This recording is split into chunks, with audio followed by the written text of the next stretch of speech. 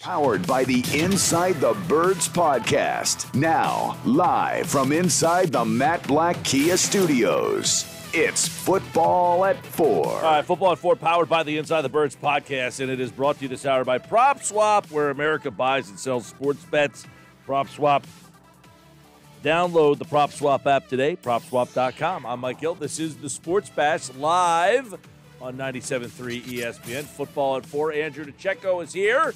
Of course, the Eagles at training camp. They are less than a week now from the start of the preseason. They will take on the Pittsburgh Steelers right here Thursday night on 97.3 ESPN. And you can, of course, listen to all the action of Eagles football this season right here. And, of course, Andrew DiCecco is here uh, as the Eagles training camp continues. Day uh, eight was yesterday. They do have the day off uh, today.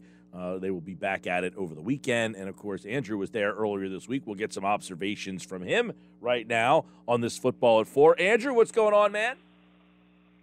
Hey, Mike, how you doing? All is good. And of course, uh, uh, we are getting closer to the start of uh, Eagles preseason. Last night we saw the opening of the season. Now, how much of the game did you consume last night? Uh, not very much. Uh, it's just I'm a football junkie, and I actually really do enjoy the preseason as I like to see a lot of the younger players vie for roster spots, and uh, you know the whole draft process. I'm very invested in how these guys are panning out with their respective teams. But I mean, last night I just watched to see how Alex Highsmith, the pass rusher who I was an advocate of through the pre-draft process, how he's doing. He's settling into a starting role in place of Bud Dupree. He looks comfortable, and then uh, Isaiah McCoy and. Um, and Aaron Parker, two wide receivers on the on this one on the Steelers, one on the Cowboys. So nothing nothing too crazy. Well, let's uh, take a look at some of the things that you saw this, saw this week uh, at Eagles camp, and uh, let's start with uh, the running back battle back there because there's a lot of interesting names in the running back room. Uh, obviously, Miles Sanders at the top, but kind of handicap what's going on in your opinion behind him. Yeah, and, and, I and I highlighted these for those who haven't checked it out. A comprehensive overview on my observations for training camp on Wednesday on InsideTheBirds.com. But when I saw the running back situation, the kind of the way that I viewed it, the Spark Notes version of it, if you will, was mostly Miles Sanders taking the lion's share of the carries. I saw a lot of Jordan Howard. You saw a lot of Boston Scott, some Kenny Gainwell sprinkled in there. Even some Jason Huntley, I would say, who showed some springy, some springiness and some burst as well really excited to see him in the preseason. Didn't see much of Kerryon Johnson, so you have to wonder how much he's even going to be a factor in the preseason if they're trying to preserve him, or if he just really has fallen out of favor and they have other options in mind. Um, obviously, Sanders we think is the main guy. However, how do you see his? I mean, do you see him being eighty percent of the carry, seventy? You know, how, how much workload do you envision Miles Sanders getting? I, I think he shouldn't be, he shouldn't be getting anything less than 18 touches a game when you look at his explosiveness and what he can bring uh, as far as a dimension out of the backfield and explosive dimension out of the backfield for to the offense.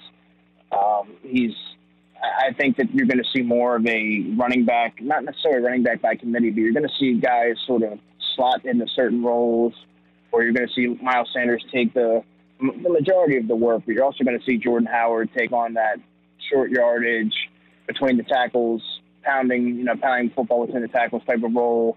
You're going to see Boston Scott and Kenny Gainwell sort of be those guys that can catch the ball out of the backfield, get them in space, and take advantage of their, you know, dynamic traits. And then, I mean, you, we'll see what happens if they keep five. You, you have someone like Jason Huntley or or or on Johnson, who are in the who suddenly become in the conversation. So they have a lot of different guys. I think are more so going to slot in the role. So I would see Miles Sanders probably taking about 75 percent of the of, of, the touches on a given on any game. Yeah, I know that uh, people are excited to see what Sanders can do with a full season here. Also, uh, let's transition to how you saw Andrew uh, the tight ends being used because obviously Zach Ertz apparently isn't going to be going anywhere anytime soon. So, so how does he kind of work in with Dallas Goedert? How do they kind of balance those two?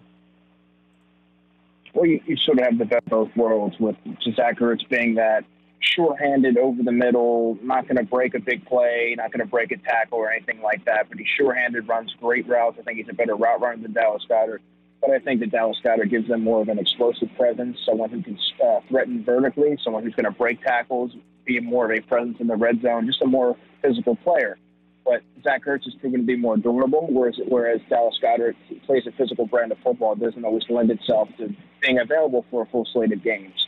But Dallas Goedert is, is the better blocker. He's the one that I saw have a a an ex, a very uh, it was very apparent that he had a continuity there with Jalen Hurts. He found him twice for scores in seven on seven period. Looked his way was his first look a, a lot of times, and Dallas Goedert just is a big bodied guy that knows how to get open. He's going to go up there and come up with those contested catches and um, just a physical player at the catch attacks the catch point. So uh, I think you're going to see him be really start to break out as a household name this season and put his stamp on being a top 10 tight end in this league. Yeah, I know that uh, the tight end's going to be interesting to see how much, uh, you know, they utilize. Do they go 12 personnel, the double tight end look? Does that squeeze one of the receivers out? Uh, does Nick Sirianni kind of have to change what he thought he was going to do now that Ertz is here? I think that whole dynamic's interesting. Are any of the wide receivers forcing their way into the conversation to get more playing time? Quez Watkins is, yeah. Is he a guy that's going to be, um, you know, third? Uh, you know, is he going to get regular reps? Is he a guy that's going to be uh, going to have a package? How do you see them kind of working him in then? Because I thought last year that Pederson, I know he only got a few reps, but Pederson did not do a good job of utilizing his skill set. Right. Yeah. I, I don't know that he's going to see an extensive package. What I do think will happen though is you're going to see a heavy rotation on on the offensive skill players. You're going to see a lot of the receivers shuffling in and out of the lineup. But I think Quez Watkins has carved out, has proven that he should have a role carved out for him this year. Take advantage of his vertical dimension, his explosiveness after the catch. You saw what he was able to do uh, once you get the ball in his hands in the open field. Very uh, looks markedly improved as a, as a route runner catches the ball really well. I thought he, he caught a, a contested ball at the goal line with Craig James draped all over him in seven on sevens. You know, just certain things, uh, areas of this game that felt, you know, much much more refined than last season when he looked was more of an overall prospect. I think he really looks like he took the attacked the off season, took it seriously, and it's really showing um, throughout the whole training camp, and definitely the practice I was there for on Wednesday. Now, Wednesday when you were there, uh, Andre Dillard got the start or got the reps with the first team, but from all accounts, that is a pretty wide gap between him and Jordan Mailata. Is that what you witnessed? Yeah, it is, and um, that's one thing I wanted to take note of when as soon as the practice got underway. He was going to take that starting left tackle spot. He's going to open practice as the starting left back. When it was Andre Dillard that day, but there's such a, a wide gap here between Jordan Mailata and Andre Dillard that, I, like I said before this whole battle started, they wanted, ideally, in a perfect world, I think they wanted Andre Dillard to win that job. I think they were going to give him every opportunity to do so, but it's just such a, a wide margin between the talent levels of the two players, the confidence level of the two players. Jordan Mailata has gotten infinitely better and in his progression just each season and seems to just have such a, a, a, a an immensely higher upside. Andre Dillard, he, he said all the right things in the offseason. You thought you were really intrigued with what you with what you were going to see going into training camp, and it just really has not transpired onto the field. Um, you still want to see that toughness there. That he doesn't, he, he struggles anchoring. He doesn't have that power. Um, whereas Jordan Mailata is just a people mover, just you know, a freakish athlete um, and really has not scratched the surface of how good he can be, which is really scary when you think about it. Yeah, I think uh, the Mailata. Uh, we were talking about this right before you came on, Andrew, which is obviously if Dillard doesn't make it, I don't know, you classify him as a bust? But on the flip side, do you get points for uncovering a guy in the seventh round who could end up being a franchise left tackle? Yeah, I think so. But I mean, they start to cancel each other out when you look at a lot of the different whiffs. I mean, you can't whiff on a first round on, on a first round pick or like they should be a surefire starter, and it just not has not panned out. They got really lucky. It was more of a shot in the dark with uh, unearthing a Jordan Mailata. That does not that doesn't always happen, but I think that uh, Jeff Stoutland deserves a lot more of the credit than let's say Howie Roseman because Jeff Stoutland took a raw player who had never played the game played the game of football prior to the 2018 season, and him and Jordan really put the work in to get him to where he's at right now, and you saw him really start to turn the corner as he became more and more. The more reps he got, the more. I mean, remember he was really in a he was really a non-entity his first couple of seasons, struggled with back injuries and so on. but he just I think he just put the work in on the field and in the meeting room and worked with Jeff Stoutland, and you're seeing a, a finished product. And I don't even want to say it's a finished product really because that'd be unfair because I think that he has, like I said, he has yet to scratch the surface. Yeah. Such an athletic talent. And when you look at somebody like Andre Dillard that really has not taken the next step or, or blossomed as, as a player, you, you just sort of wonder. And he's also two years older than Jordan Mailata. I think a lot of people forget that because Andre Dillard was just drafted a couple seasons ago. He's 25 years old already, and you really don't know what you have there in him. And in him, and I think he could be a player that, if it continues to go this way, could be someone that's sort of dangled out there at the end of the summer uh, because he doesn't offer guard versatility or anything like that. So you got to wonder if there's going to be a team out there that's looking to acquire his services and certain on the offensive line. All right, uh, Andrew Checo, football four. Let's look at uh, defense. I know a lot of people. Uh, Steven Nelson is here, and people are excited about that uh, because they have a guy that can is a veteran who has a track record opposite of Darius Slay, but Zech McPhearson, the rookie cornerback, what are you seeing from him? Because reports have been pretty solid in the early going. Yeah, Zech McPhearson's tough, physical, always around the football, very instinctive, uh, very poised for a rookie. You don't usually see a lot of rookies uh, sort of the light come on for them so quickly, especially playing corner uh, as a young player and transitioning to the pro level. So it's very encouraging what you see from him.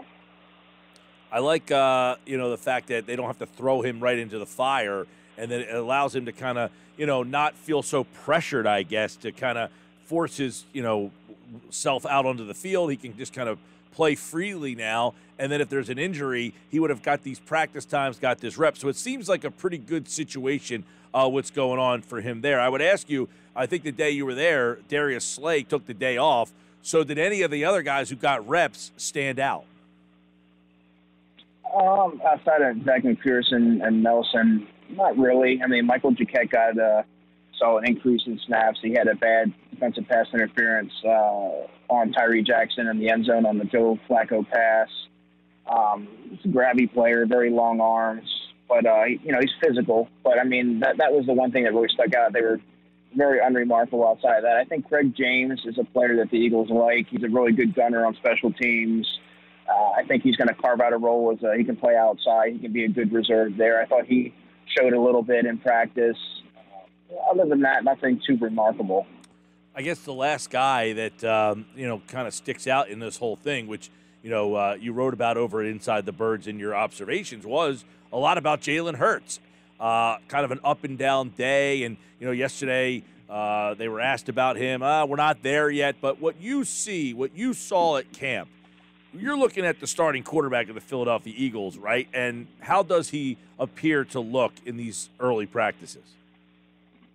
Um, it was he was sort of taking what the what the defense was giving him. He was taking a lot of uh, short underneath passes. Didn't really have a chance to uncork one deep until he hit Hightower on the left sideline. Hightower made a really good adjustment in the air to catch the football and keep his feet in bounds. Zech McPhearson had fantastic coverage on him, but um, John Hightower just outleaped him for the football, and that's, those type of things are going to happen. That was a great ball placement by Jalen Hurts. That was after uh, he threw a really questionable pass over the middle. That was I'm not exactly sure who he was throwing it to. I don't recall, but it was right over the middle, and Jacoby Stevens picked him off, and he and he, he rebounded quickly to Jalen's credit and fired that pass to, to Hightower for the best. That was the best catch of the of the, of the day by far. Um, and he also, uh, in team drills later on that day, fired a nice one over the middle, going the other direction to Greg Ward in a similar throw. And Greg Ward made a nice, made a nice leaping reception there. So um, it was it was, it was up and down. You know, I, I think he really locked into Dallas Goedert. That was evident that he's very comfortable. I think the tight ends are going to be really active this season. Uh, you wonder how different the receiving corps is going to look with uh, DeVonta Smith, and I think it's going to look much different because it adds another element to the offense. So it's kind of hard to judge it based on just one day. But I thought it was very tight end centric that day. Um, and then Jalen Reagor, of course, came back yesterday uh, and rebounded with a fantastic catch in the back of the end zone. And they're going to find ways to get him the football and sort of create a more explosive offense this yeah. year. So I, I, I think that uh, you saw the you saw the good and the and, and the not so good with Jalen Hurts. Well, and, and you mentioned been a common theme. That's been the common theme uh, throughout the summer. You mentioned a more explosive offense. A lot of that might have to do, Andrew, with that front uh, five, the the offensive line, and by all accounts, you know, Mailata Uh, you know, Adam yesterday was on. He said if he was ranking all the players, he thinks Mailata might be the number one most impressive guy. Lane Johnson, Jason Kelce, Isaac Seumalo, Brooks obviously uh, not back there yet. But if that line is healthy, everybody thinks it could be pretty good. And is that what you saw on Wednesday? Yeah, I think the line. Well, first of all, has a lot of continuity. There's a brotherhood there, and you see a lot of the backup guy, the players who are young backups now, that were forged by fire last season because they had to they had to play out of necessity, and they're playing with a lot more um, poise and, and confidence, and they have that experience under their belt. So they're you know if they have to step in, they're willing to do so adequately. But right now, I think if that offensive line, as it's currently constituted, the starters, if they stay in place, if they stay healthy, right. it's going to be one of the best in football. And I was really impressed. I have to agree with Adam. I think Jordan Mailata was was when I left practice, that was one of the players that I came away most impressed with. Also, Josh Sweat and Derek Barnett were pretty good. McPhearson as well. Yeah, I you know I was uh, having this discussion this morning, and I said, look, uh, they asked me how many wins do I see this team having, and I said, look if the offensive line is good, now I'll get your opinion on the defensive line because we've heard a lot of good things about Josh Sweat, Javon Hargrave. We know Brandon Graham, Fletcher Cox. That means you should probably have a pretty good defensive line. If you're good on both sides of the line, does that mean you have a good team? More often than not, if you if you're strong in the trenches, that's going to yield positive results, right? I mean, that's where the game is won on both lines, and the Eagles do have a, a veteran laden uh, proven commodities on both lines. And I think the Eagles' defensive line is going to make life a lot easier for the back end. And they have a decent rotation. You, you have Ryan Kerrigan there, who's going to come off the bench. Tarron Jackson's a player who flashed a little bit when I saw him there too. He's going to be vying for a roster spot. Hmm. Uh, Josh Sweat is is and Derek Barnett are probably going to fight to the fight to the death there to see who becomes the starter on the on the uh, opposite Brandon Graham. I think Josh Sweat is set to explode, possibly a double-digit sack guy. Very long arms, fluid, athletic, good bend. Uh, Javon Hargrave has been another has been another player that's had a stellar camp that really is going to benefit now with a full off season. I think Fletcher Cox is going to be the beneficiary of not having to take those double teams and have a much more explosive player playing next him with a full year in the system under his belt. Uh, playing with with the Eagles, of course, is a different system, but I think uh, Hargrave's going to sort of burst onto the scene this year and become the player that they envisioned him being when they brought him on as a free agent. So, I, so there's a lot to like there. I guess lastly, Andrew, being there, uh, you know, this week and seeing the new coaching staff, what kind of impression did they leave for you? I, I was thoroughly impressed, Mike. I have to say, I, I really like the hands-on approach. I like the uh, willingness to get after a guy, to take it, someone, take a guy off to the side, and, and be unafraid to, to drill them on the fundamentals and the and the, the finer details, which we really have not seen a lot of player development with the previous regime. And I think it's going to be quite the contrary with this current coaching staff. Uh, you know, these they're they're constantly working with these guys. They're constantly in their ear and, and telling them what you know what's acceptable and what's not acceptable. And I think you're going to see a, a lot more of a player development, and you're going to see a lot more structure and discipline this season with the coaches that they have in place. All right, Andrew DiCecco, football at four. The Eagles in action Thursday night right here on 97.3 ESPN against the Pittsburgh Steelers. Football is back, and football at four never goes away. We take you all season, all off season, and into the preseason right now is where we are. Andrew DiCecco at A DeCecco NFL. Follow him in the Inside the Birds guys for football at four every day here on the Sports Bash. Have a great weekend, man. Yeah, man. Take care.